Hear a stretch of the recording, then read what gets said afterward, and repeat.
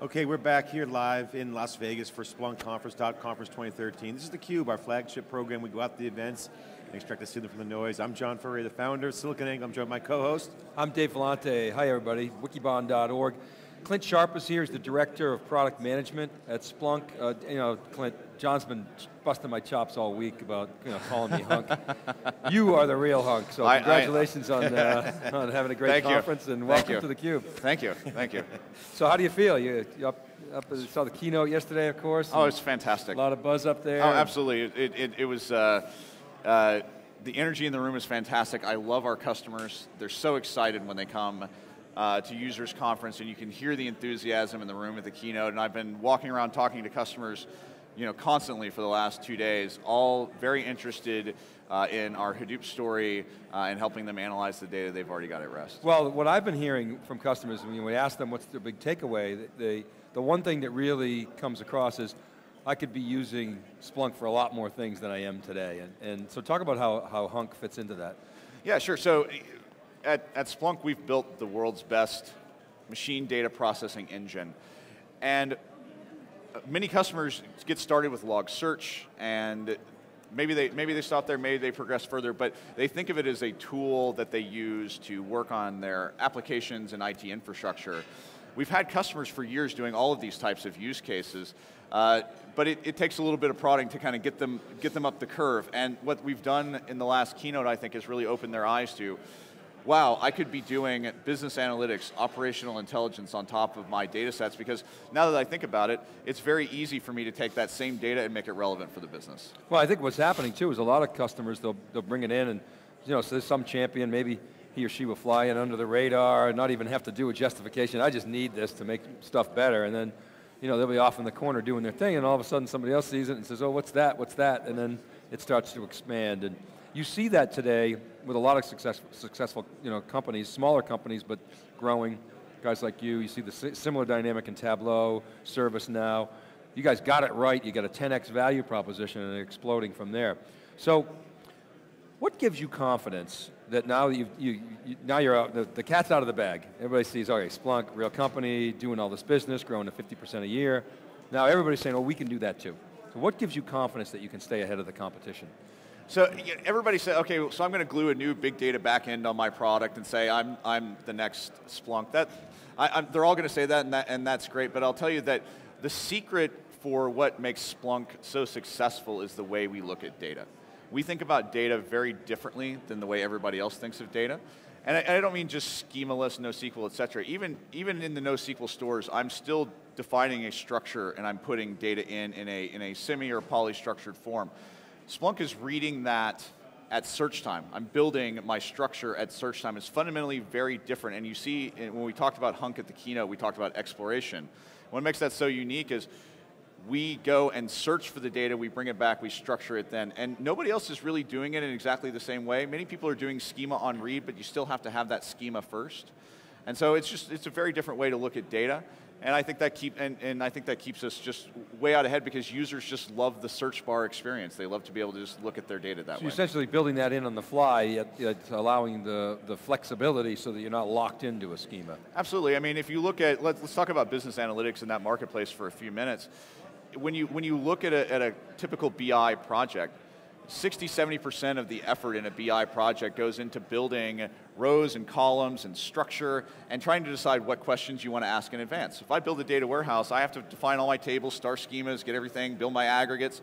Huge amount of time and effort spent on ETL, spent on designing data.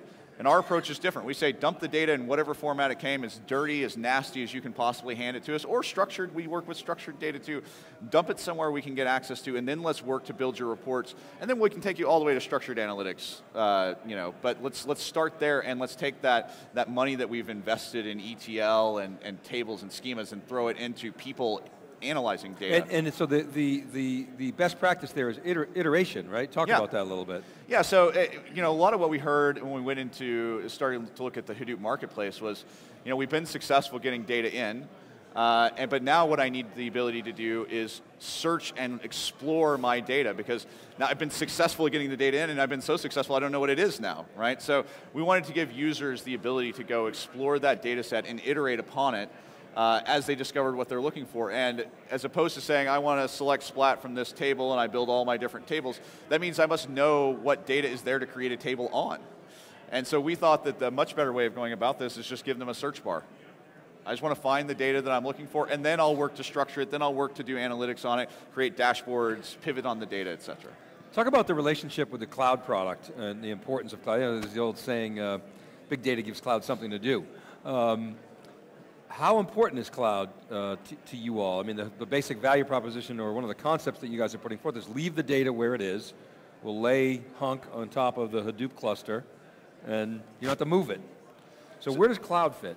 So cl cloud is, is a key part of our strategy, and I think what makes us, uh, you know, a lot of our competitors are going to come after us and say, hey, you know, we do, we're, we're, we're true SaaS, you know, we're, we're a SaaS play. We are the only company in the business doing what we're doing on premise and in the cloud. And what we're hearing from customers is, not only do I want to have my data in the cloud, but I want to have my data on-prem. Some data's on-prem, some data's in the cloud. I want the data to stay where it's at. We're going to give you the ability to search across both of those through one seamless experience, which nobody else in the marketplace can offer. Awesome. So, um, what else are you hearing from customers? Uh, they, they, they, you, are in beta right now, um, so you've gotten some initial feedback. What are they telling you? Um, they're telling me that uh, they want us to do more. they always want more. Those customers, they're always wanting more. Uh, we're going to work that's on. Good. When they tell you they don't want anything else, that's when you got to run.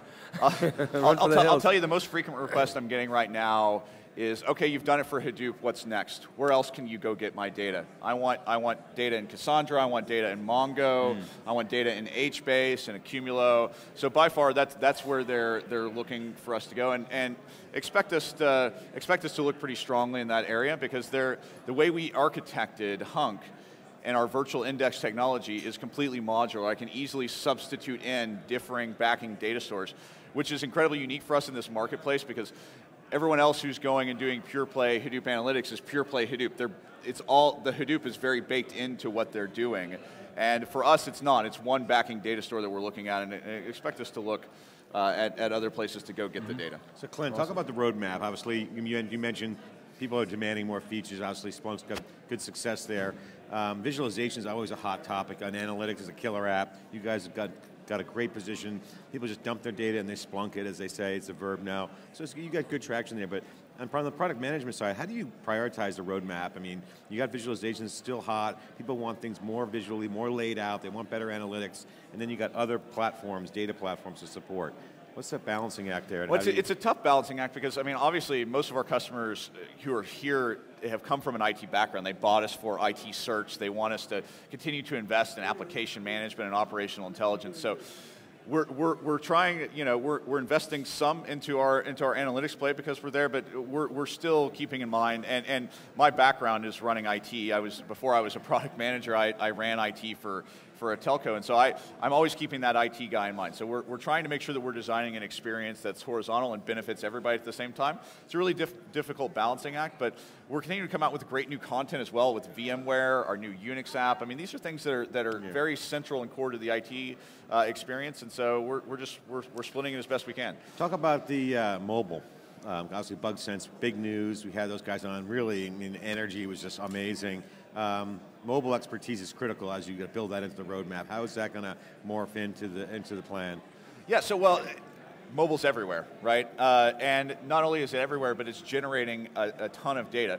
And as Splunk, we want to make everybody's data valuable and accessible. And so we're taking our, uh, you know, our concept of, of forwarders that we use inside of the agent, and we're, we're going to go work to get data out of the mobile platform because we're already helping them gather data on mobile applications on the server side. And what our customers were telling us is that, you know, if I'm, if I'm gathering the data on the server side, that's great, but I, but I need to be able to correlate and that's something that Splunk does very, very well. I need to be able to correlate what's happening on the actual client with what's happening on the server so that I know that if my customers are loading up a bunch of bad software on their iPhone or Android device and that's causing me application problems, I want to make sure that I can prove that definitively versus having to say, well, on the server side, it all looks good, right? So uh, yeah. we're, we're going to keep investing in getting detailed data off of the mobile device. We had a chance last night to sit down with some of the folks on the product team um, uh, at the party and get to know some of the folks. And we commented yesterday, we wrote a blog post on SiliconANGLE about the product culture at Splunk. It's very product centric excellence as a mindset, and you know it shows. And you, you hear people you know kind of celebrating these ship six, you know, take a little breather, a little, let some steam out, kind of like you know college final exams, kind of take a little break. Um, but I got to ask you, going forward now, now that that's behind everybody, what's um, the guiding principle on the product on the product teams now? What what is the Splunk internal, you know, in it to win it? What's the slogan? What's the guiding principles that you guys put forth to your teams? We're we're we're, we're a quirky culture. Um, so we're, we're out there. Uh, uh, I don't know that we have a slogan. We definitely have a mascot. so and, and, we've got a new hunk mascot as well. I don't know if you saw the slide at the end of the oh, presentation. Yeah, yeah, yeah, so of we're, course. we're was gonna, that, was that your body? And, and it was it, unfortunately not. Unfortunately not. But we're, we're gonna we're gonna make up some bobbleheads and we're gonna put them on our desks and we're gonna we're gonna go keep trying to win in that marketplace. So I think it's uh, you know, work hard, play hard. I, I would say, and that sounds cliche, but uh, when I, you know, I leave the office at, at a 6:30, 7:30 at night, and the developers are there till. If you come back at midnight, there's people still there coding, right? And so, uh, we we love the we love the product ourselves, and that's what I think is is so unique about Splunk and our products organization is we use the product, we love the product, and it's a it really shows in in, in what it is that we're building. Well, do you think, um, so let's talk about the, the market. So, you know, we're always trying to squint through the, the market sizing and what the TAM is. How does the, the, the hunk um, capability affect that TAM? So obviously we talked about the Hadoop piece, but you're defining big data as more than, than Hadoop. So how do you think about the total available market and how it's affected by hunk? Yeah, so I mean, I, I, honestly, over the next 10, if we go on a, on a 10 year to 15 yeah, year let's keep horizon, it far enough off so that nobody will really remember what we said here in the cube.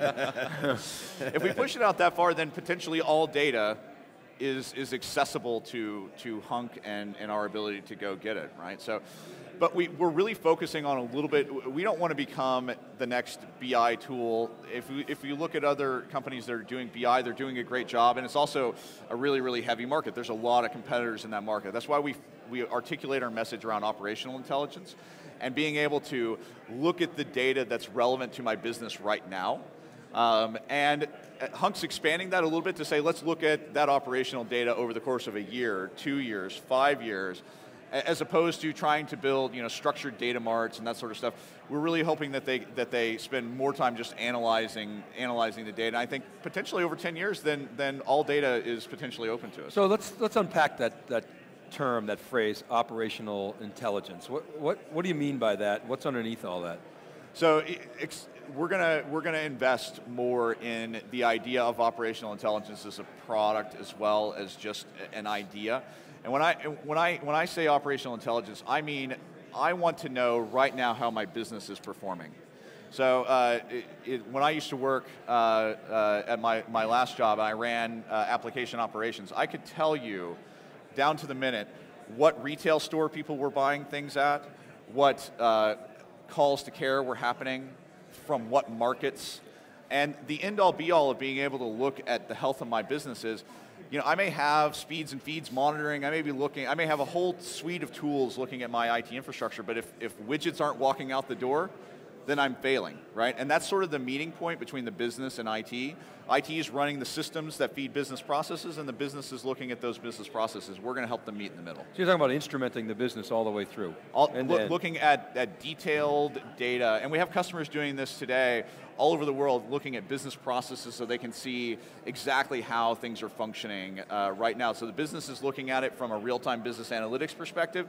The IT guys are looking at it from a perspective of now I know for sure whether my systems are actually functioning because ultimately I don't care if my API is responding at a, at 100% success rate, if my sales are down 30%, something's wrong and I need to go look. So you're saying you've got examples today where you can instrument from the, the IT infrastructure through the applications to the business process out to the to the customer and have, have essentially a value flow, if you will. Absolutely, numerous, numerous examples of that. In fact, I, I know you can do it because I built it. so, so, so give us some examples of, of how people are doing that. Uh, so we have, uh, we have a large telco customer in, in another continent that's looking at all of their ordered activation process, right? So it's really critical if I buy a cell phone that I walk out with a working phone. We have customers from, uh, uh, from a large healthcare insurance provider who's using us to look at claims processing and watching through each step of the claims process. Are orders fall, are claims falling out? Are we processing orders in, the, in, in a timely fashion? And it was visibility that would have taken them years to build inside of a, uh, inside of a BI platform simply because the data is coming to them raw and unstructured and they, they need to be able to look at it in the way in which we, excel at. Is there an anticipatory aspect of that as well where an event occurs, let's say somebody buys a cell phone and, and, and your customer is able to anticipate what the next step is going to be, um, so when I call up, they can they know what I'm trying to do. Is that are we are we at that point of, we're, of operational we're, intelligence? We're, we're, not we're not there yet, but but uh, we want to go there. So the the one of the things we really want to do in terms of enabling our and we can do a lot of this today. It's just a little bit more esoteric than we would like it to be. Is in, in terms of throw a bunch of data at me and tell me what's weird. Right? Just show me if, if I have if I have a trend line that's going this way and I'm two standard deviations plus or minus, the system should just tell you. Yep. Right? And so we have a lot of those capabilities in our search language today. You just have to go find them. And so we're going to work to start making that easier for customers to get to get access to. And then ultimately automate that. And, autom- and so yeah, exactly. And throw me an alert anytime something weird happens. And we should be able to do that because we know what, heuristically, we know what the norms are. And we, ha- we have those capabilities today. Uh, and now we just need to bubble them up better to the end user. Okay, Clay, we're getting uh, pushed on time. Final question to end the segment uh, for you is, what is the number one priority right now in the product crew, obviously, um, in terms of, it could be feature, could be um, polishing up, the simplicity, analytics. What's the number one thing you guys are focused on right now? So for the, for, for, for the next release, what we're focusing on is end user delight, right? We've, we've, we've paid off a lot of technology debt with this release. We've got a new UI, a new framework. We're able to move very fast. We've built a great new business user interface. And so what we want to do is we want to get feedback from the people who are using the product, and we want to, we want to, we just want to delight them, right? We, when they open up the, the next box that we ship them, we want them to say, man, this is just much better, better folder management, better clustering, you know, the, the things that, that matter, you know, anomaly detection, th things that are, things that are just going to make their lives easier because we know the IT market and we know the analytics market and we know what makes people happy and we just we want them to we want them to smile the next time we, we give them a version. Well, congratulations! It's certainly exciting for the Cube because it makes our job real easy when you got customers that sit next to us and tell us how delighted they are, and they say things like "Splunk allows me to dream," and and that's the kind of sentiment you guys are enabling. So, congratulations on the product success and. Uh, Congratulations. This is theCUBE live, Splunk conference in Las Vegas, day two of two days of coverage, exclusively on siliconangle.tv. We'll be right back. This is theCUBE.